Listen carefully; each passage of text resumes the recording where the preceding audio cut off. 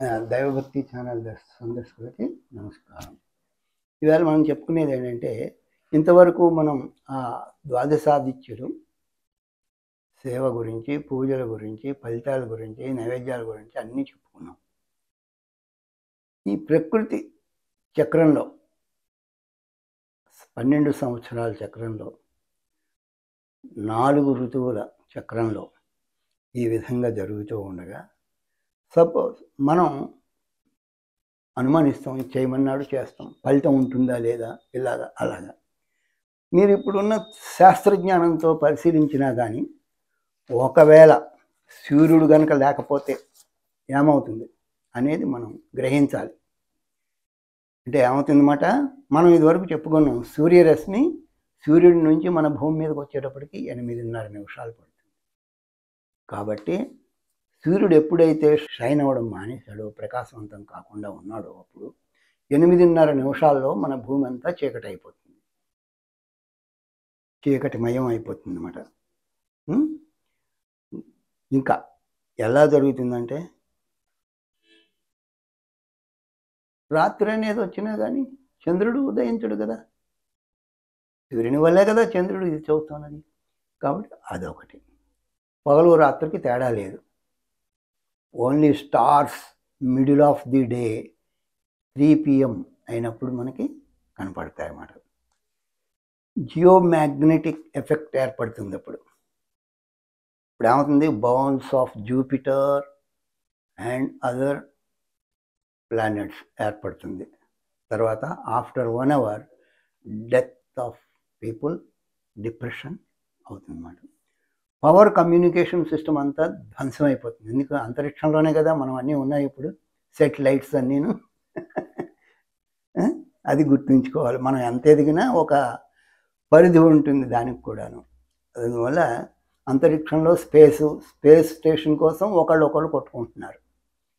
ఇక్కడ కొట్టుకోవడం సరిపోకుండా.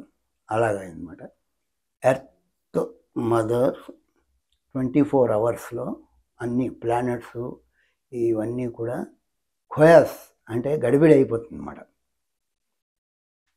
people do crime in darkness సహజంగా ఇవన్నీ దోపిడీలు ఇవన్నీ చీకటిలో జరుగుతాయి. చీకటి ప్రపంచం అంటారు.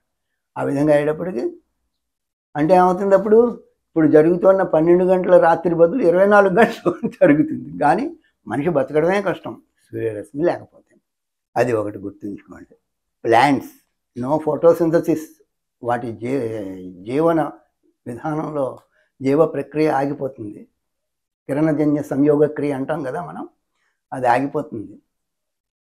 నో ఆక్సిజన్ ఫరస్ ఆ క్రియ దానికి జరిగితేనే మనకి రాత్రిలో ఆక్సిజన్ వస్తుంది కార్బన్ డైఆక్సైడ్ అది తీసుకుంటుంది కనుక.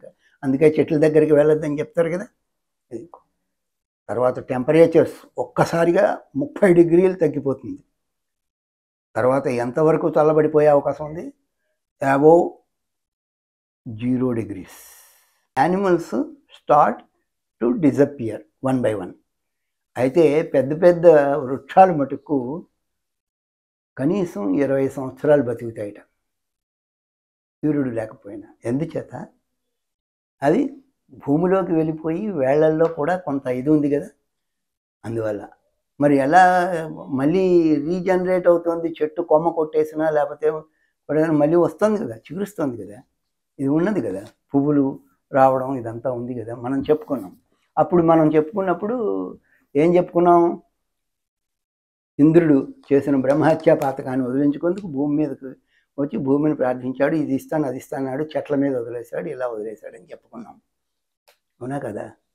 ఇప్పుడు చెట్ల మీద వదిలినప్పుడు ఆ ఇది వల్లే ఈ చెట్లకి రీజనరేట్ అవ్వడం అది వచ్చింది కొమ్మలు నరికినా కానీ అందువల్ల ఆ ప్రాణశక్తి వాటిల్లో భూమిలోకి ఉంది కనుక ఉష్ణోగ్రతల యొక్క ప్రభావం అంత ఉండదు. తర్వాత వాటికి ఉన్న దానివల్ల ఇరవై ఏళ్ళు కనీసం అవి బతుకుతాయి. ఏమండి? ఇవన్నీ సపోజ్ మీరు అనుకునేది సూర్యుడు అనేడు వాడు లేకపోతే ఏమవుతుంది ఏంటంటే దానికి ఇవన్నీ కూడా మన. శాస్త్రజ్ఞులు చెప్పిందే. ఇప్పుడు ఈనాటి శాస్త్రజ్ఞులు ఒప్పుకున్నది నేను వేరే ఏం చెప్పట్లేకపోతే going underground for warming ఇప్పుడు చూడండి యుద్ధాలు జరుగుతూ ఉంటాం బంకర్లు తవ్వి లోపలికి వెళ్ళిపోతున్నారు ప్రజలు. యుక్రెయిన్ యుద్ధం వచ్చింది అనేటప్పటికీ యూరోప్ వాడు బ్రిటన్ వాడు బంకర్లు తయారు చేస్తున్నారు ప్రొటెక్షన్ కోసం.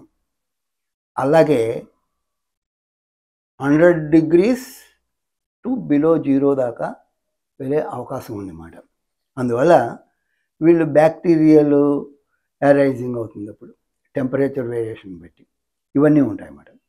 ఏమండి? ఓషన్ కూడా ఫార్టీ డిగ్రీస్ నుంచి బిలో జీరోకి వెళ్ళిపోతుంది.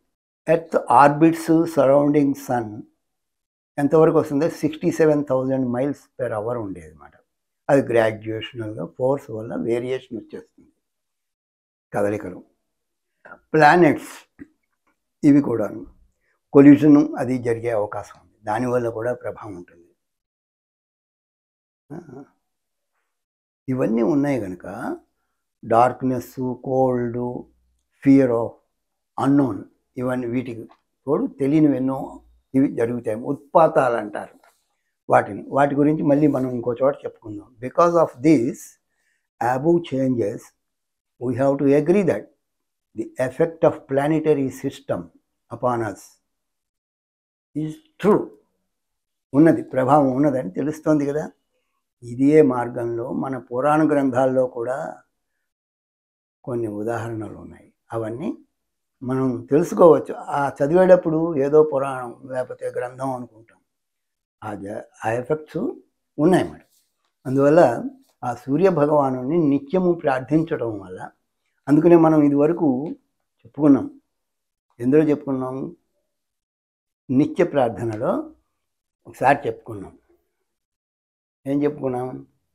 మందేహ దేహన సార్థముదయాస్తమయే రవి సమారహి ద్విజోతృష్ణ మంత్రతోయాంజలి త్రయం.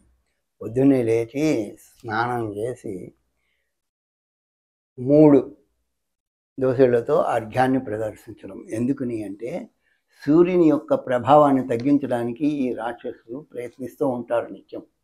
కాబట్టి ఈ ఇది ఇవ్వడం వల్ల ఆ సూర్యుడు ఇంకాస్త ప్రజ్వలితంగా రావడానికి అవకాశం ఉంటుంది. ఇది మనం చెప్పుకున్నాం ఇదివరకే. ఆ విధంగా ఉంటుందన్నమాట. కాబట్టి ఇవి చాలా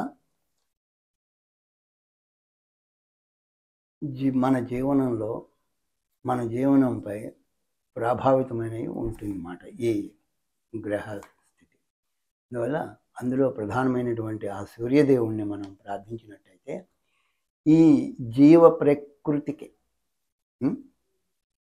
అంటే ఈ జీవులు ప్రకృతిలో ఉన్న జీవులకి జీవనాధారం అయినటువంటి సూర్యుడిని ప్రార్థిస్తే తతిమా గ్రహాల యొక్క ప్రభావం కూడా మనకి కొంతవరకు తగ్గడానికి అవకాశం ఉంటుంది. కాబట్టి దీనివల్ల ఏం తెలుస్తోంది మనకి?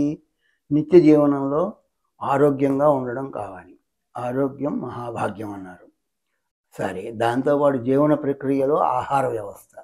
అది కూడా కావాలంటే మొక్కలు చెట్లు అవి ఉన్నాయి అందుకనే అన్నారు. ఏమన్నారు? ఆ మొక్కలకున్న లక్షణం మానవుడికి లేదన్నారు. ఎందుచేత? ఆ మొక్కలు ఏంటి పెరుగుతున్నాయి పుష్పిస్తున్నాయి కాస్తున్నాయి ఫలిస్తున్నాయి. మానవులకి ఇతర జీవాలకి ఉపయోగపడుతున్నాయి. తను తింటా లేదు. ఆ దానక్రియ అనేటువంటిది మనం నేర్చుకోవాలి వాటి వల్ల. ఎంత సౌందర్యమైనటువంటి ఈ ప్రకృతి ఎందువల్ల నడుస్తుందంటే ఆ సూర్యదేవుని యొక్క చైతన్య శక్తి వల్ల నడుస్తుంది. అందువల్ల మనం తప్పకుండా ఆ సూర్యభగవాను నిత్యము స్నానం చేసి స్నానం చేయడం ఎందుకు చెప్పారో ఇది తెలిసి ఇదివరకు చెప్పుకున్నాం. సప్త చక్రాల గురించి చెప్తున్నాడు కావలసి మళ్ళీ చెప్పుకుందాం. సప్త చక్రాలు చెప్పుకున్నప్పుడు ఏం చెప్పుకున్నాం? స్నానం చేయడం వల్ల మనకు అన్ని చక్రాలు కూడా శుద్ధి అవుతాయి విశుద్ధి చక్రం కూడా శుద్ధి అవడం వల్ల స్పష్టంగా మనం దేవుణ్ణి ప్రార్థించడానికి వీలవుతుంది. తప్పప్పులు ఉండవు ఏమీ ఉండవు స్వరం అంతా కూడా శుద్ధిగా వస్తుంది అన్నమాట అది శుద్ధత్వం ఉన్నప్పుడు ఫలితం కూడా అంత శుద్ధంగానే వస్తుంది. అందువల్ల ఇవన్నీ కూడా నిత్య జీవన నియమాలు మనం పాటించి తీరాలి.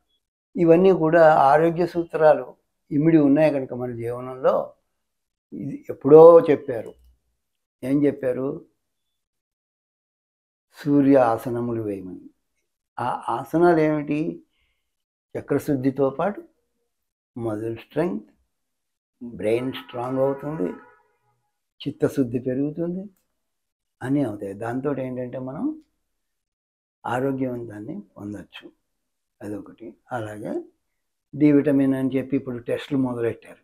ఎందుచేత అన్ని కాంక్రీట్ జంగిల్స్ ఎండ కూడా తగలటం లేదు తెల్లారితే.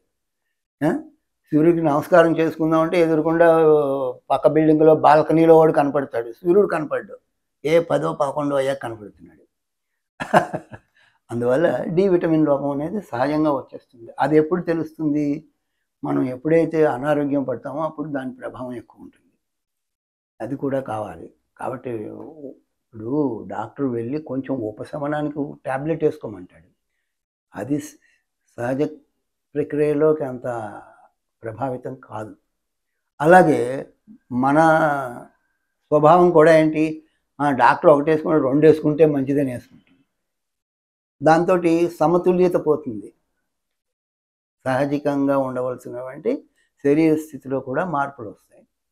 అందువల్ల ఇది నిత్యము సూర్యరశ్మిలో వెళ్ళడం వల్ల పదకొండు లోపల అంటే ఎనిమిది సూర్యోదయం నుంచి ఎనిమిది లోపల డి విటమిన్ బాగా తగ్గుతుంది ఆ తర్వాత పదకొండు ఇరవై దాకా. ఈ పదకొండు ఇరవై ఎందుకు చెప్తున్నానంటే బా నా జుట్టు బాగా పెరగాలి బాగా ఇదవ్వాలి ఇవి అంటాం. కాబట్టి మీరు ఇవన్నీ చేసుకున్నప్పుడు మీ కేశాలు కూడా మ్యాక్సిమం పెరిగే అవకాశం పదకొండు ఇరవై దాకానే ఉంటుంది సూర్యరశ్మిలో ఉండడం వల్ల. తర్వాత ఉండదు. గుండు మారుతుంది తప్ప ఏమి ఉండదు. అందువల్ల ఇవన్నీ కూడా మనం ఫాలో అవ్వాల్సిన విషయాలు అన్నమాట. ఒకదానికోటి శాస్త్రజ్ఞులు కనుక్కుంటున్నారు. కానీ ఇవన్నీ ఎప్పుడో ఉన్నాయి. మనం ఫాలో అవ్వలేదు. ఎవడైనా వాడికి వచ్చి ఇదైంది బాగుందంటే అని బయలుదేరటం. అలా ఉంటుంది మన పరిస్థితి. అలా కాకుండా మనం ఒక నిత్య నియమబద్ధంతో చేయాలన్నమాట. అది ఇంపార్టెంట్ నమస్కారం.